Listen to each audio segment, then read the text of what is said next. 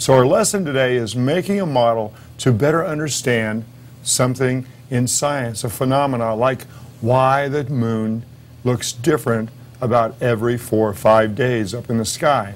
And to help you understand those phases of the moon, we're going to make a moon phase model.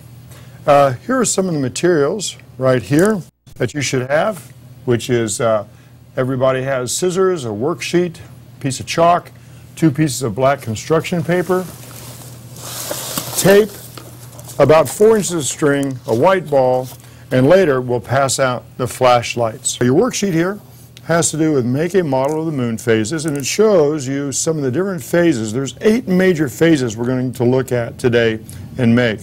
And I want you to be able to go back to this to see, uh, as we make our model, how you can line up the eight different phases of the moon. Let's get started with uh, our two pieces of construction paper. First thing I want you to do is to fold this piece of paper lengthwise. Uh, some people call that a hot dog fold. And try to get it uh, exactly like this.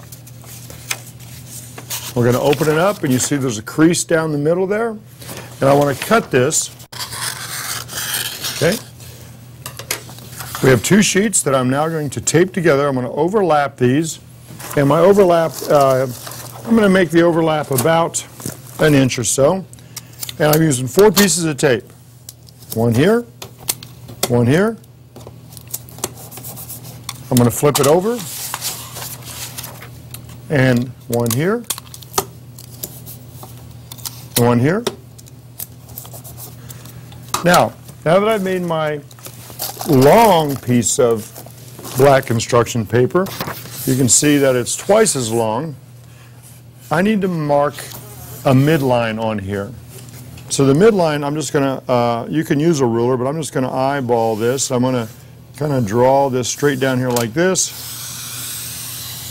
I'm using my chalk and I'm trying to get a nice midline. I'm going to divide this paper up into eight sections, and I'm going to use as a measure my hand. And I've done this before, so I know that my hand, I can use four fingers. You might have to use all five of your fingers. And mark one,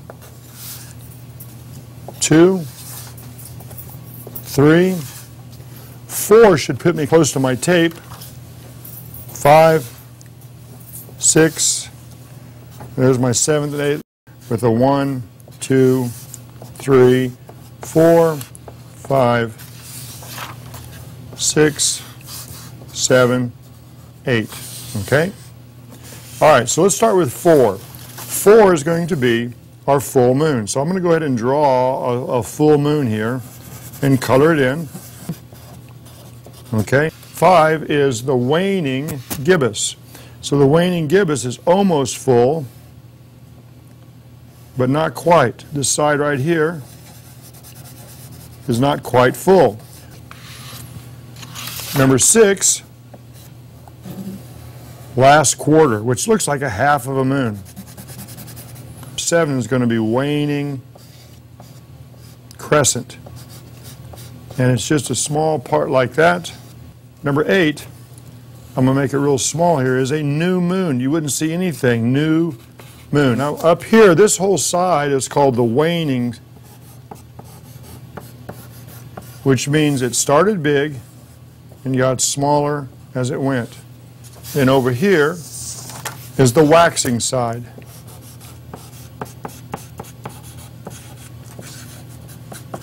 And we're going to start then with, if I look at my chart, number one is a waxing crescent.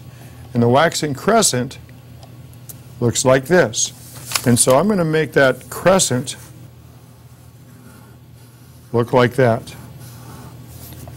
And I'm going to call it waxing because we're waxing side crescent. Number two is getting bigger, and so that's a first quarter. First quarter. It looks like a half moon, but it's actually called a first quarter. And that leaves the last one, which even gets bigger, which is called a waxing gibbous because it is getting very big. And it looks almost full, but not quite. Okay, so we have, we started here, waxing crescent, first quarter, waxing gibbous, full moon, now it's getting smaller, waning gibbous, last quarter, waning crescent, and new moon. And we're going to end up in a moment cutting some holes and making it into a round sided moon model.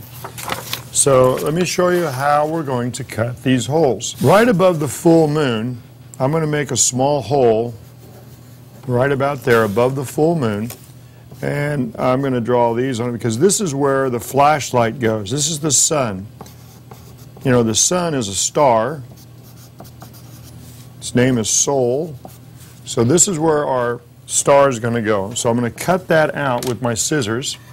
And I made it small about the size of my um, little finger, and it's right above the full moon. Now, you might want to bend this and make a small cut. This is just small enough to shine the flashlight in. That's where my flashlight will end up being shined so I can uh, see the different phases. Now we have to cut eight holes in this paper, one on this above each of the phases. Here's the first one's going to go here. Step one, fold it. Step two, make a long cut. Step three, make a shortcut up. Step four, shortcut up. And step five, fold up the tab or the window. Okay? So I'm going to do that again. Step one, cut. Fold, cut, cut, cut, fold up. Be careful when you get to the sun. Roll, cut, cut, cut, fold up. Puts the eight windows in. So now we've cut our windows into this and our place for our sun. It's time now to roll this around and overlap it so it looks like this. I'm going to line up the two parts and once again use four pieces of tape, two on the outside and two on the inside. This will give it more stability and we end up with our moon model sphere, the sides of it labeled. Now we needed two sheets of paper so the, the second sheet of paper, we're going to lay it down on your desk. We're going to put the moon sides upside down on this black piece of paper. And you want to make sure it overlaps a little bit along the edges here. And then I'm going to take my chalk and I'm going to outline this. Make sure you overlap at least an inch so the lid, the top, doesn't fall through.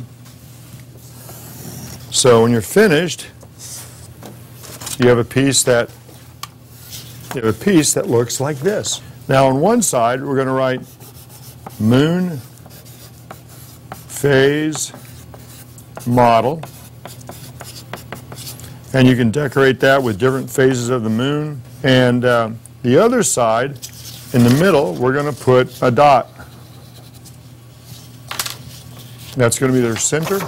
So I'm going to go ahead and cut this out. Remember, you want this to be a little bit larger than the sides of your moon model because you don't want this falling in. So remember that dot I put on the side here? Well, it's time now to add our white styrofoam ball and a small piece of string. Now I start with about four inches, but we don't know exactly how much we need until we do some measurements. So I'm going to take a small piece of tape and tape this onto my styrofoam ball. With this, I can show rotation and revolution. We have to determine how far down to hang this ball. I want this ball to hang down right about there so I can see it and mark it with my finger so I know that's where I want to tape. And if you want to cut off that extra, you can. I now have this moon phase that will hang down underneath my sides. And this one upside down You turn this upside down, and we want to use four pieces of tape to tape this together. So here's one piece of tape, and fold it like that. Rotate it around. Second piece of tape. And you see how I'm not overlapping, I'm leaving a little bit of lip right here. Piece of tape. Right about here on this far side. What we have to do now is find the hole with the sun, which would be on the full moon. Use our flashlight, shine the flashlight in there, and look in down inside of the different openings. Be able to see all eight phases of the moon. Use your model, use the night sky to help explore the phases of the moon.